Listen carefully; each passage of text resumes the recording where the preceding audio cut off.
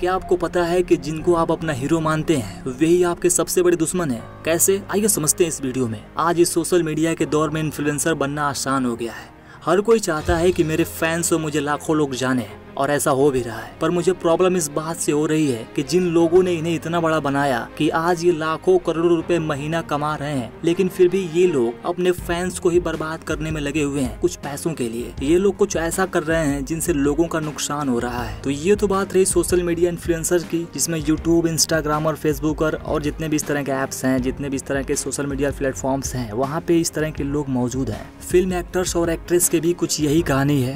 उनमें से भी कुछ लोग ऐसे हैं जो अपने फैंस को ही बर्बाद कर रहे हैं। प्लेयर्स खिलाड़ी, खास करके क्रिकेटर्स जो ये बोलते हैं कि हम लोग देश के लिए खेलते हैं, लेकिन आज वे देश के लोगों के साथ ही खेल रहे हैं। तो इस तरह के लोगों को हम लोग कैसे पहचान सकते हैं, जो आपका नुकसान पहुँचा रहे हैं? तो इसके लिए बहुत ही आसान तरीका है। आपको बस इस बात का ध्यान देना होगा कि आपके जो भी गुरुज हैं, जो भी हीरोज हैं, जो भी इन्फ्लुएंसर हैं, जिनको आप फॉलो करते हैं, वे किस तरह की चीज़ें प्रमोट करते हैं? वे कैसी चीज़ों का प्रचार प्रसार करते हैं? अगर वे अच्छी चीज़ों का प्रचार प्रसार कर रहे हैं, तब तो ठीक है, लेकिन मैं कुछ लिस्ट बता दे रहा हूँ। अगर वे इन सब चीज़ों का प्रसार करते हैं। तो इस तरह के इन्फ्लुएंसर से, इस तरह के एक्टर एक्ट्रेस और खिलाड़ियों से दूर हो जाइए। उन पे आँख मूद के भरोसा करना बंद कर दीजिए। नंबर एक गैम्बलिंग यानी जुआ, सट्टा, इस तरह की चीज़ों का प्रचार प्रसार अगर आपके इन्फ्लुएंसर कर रहे हैं, आप जिनको आइडल मानते हुए कर रहे हैं तो उनसे प्लीज़ सावधान रहिए। A eleven B eleven C eleven इस तरह के एप्स का प्रचार करने में लोग लगे हुए हैं। मैं खुल के नाम नहीं ले सकता क्योंकि मेरा चैनल ये रातों रात गायब हो जाएगा और मुझे पता भी नहीं चलेगा। पर मैं जो बोलना चाहता हूँ, हो सकता है आप समझ रहे हैं मेरी बात को।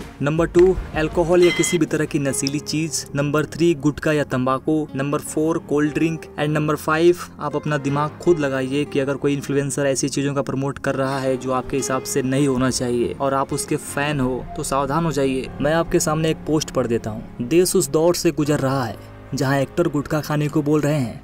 और क्रिकेटर्स जुआ खेलने को। अब ये सही है या गलत, किसको पड़ी है? क्योंकि सबको अपना अपना कमीशन मिल रहा है।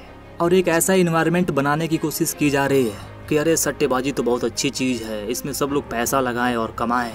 एक पॉजिटिव इन्वायरमेंट क्रिएट करने की कोशिश की जा रही है। पर इसकी काली सच्चाई ये है कि इसमें जितने भी लोग पैसा लगाते हैं उसमें से अधिकतर लोग बर्बाद हो जाते हैं। सट्टे की जब लत लग जाती है, जब आप जुआ खेलना सीख जाते हैं तो फिर उसको मिटाना बहुत ही मुश्किल हो जाता है। कई बार तो लोग अपने घर बार तक बेचने को तैयार हो जाते हैं। और इसमें सबसे ज़्यादा अगर कोई फंसा है तो अपने देश का स्टूडेंट। जो स्टूडेंट अभी पढ़ाई कर रहा है, वो लोग छोड़ के इसमें सट्टेबाजी में लग गए हैं। अब क्रिकेटर्स ये सब चीज़ें प्रमोट करेंगे तो यही होगा। क्लास सिक्स में पढ़ने वाले बच्चे जुआ खेल रहे हैं। कई के तो पेरेंट्स को भी पता है, लेकिन वो भी कुछ नहीं कर पा रहे हैं। इन सेलिब्रिटियों के चक्कर में बहुत लोगों का ब्रेन वॉश हो चुका है की जुआ एक अच्छी चीज़ है। पर मैं दोबारा बोलना चाहूँगा, इस तरह की चीज़ों से अपने बच्चों को दूर रखिए। इन क्रिकेटरों के चक्कर में मत पड़िए, इनके पास बहुत पैसा है, पर आप लोगों के पास पैसा नहीं है। अपने बच्चों को लगाइए स्किल सीखने पे, अच्छी नॉलेज गेन करने पे उनको फोकस कराइए। अगर आपको वीडियो अच्छी लगी तो प्लीज़ लाइक कर दीजिएगा, रेक्स ज्ञान को सब्सक्राइब कर लीजिए इसी तरह की और वीडियोज़ देखने के लिए। और अगर आपने ये वाली वीडियो नहीं देखी है तो प्लीज़ आप इसको देखिए, ये भी काफ़ी अच्छी वीडियो है।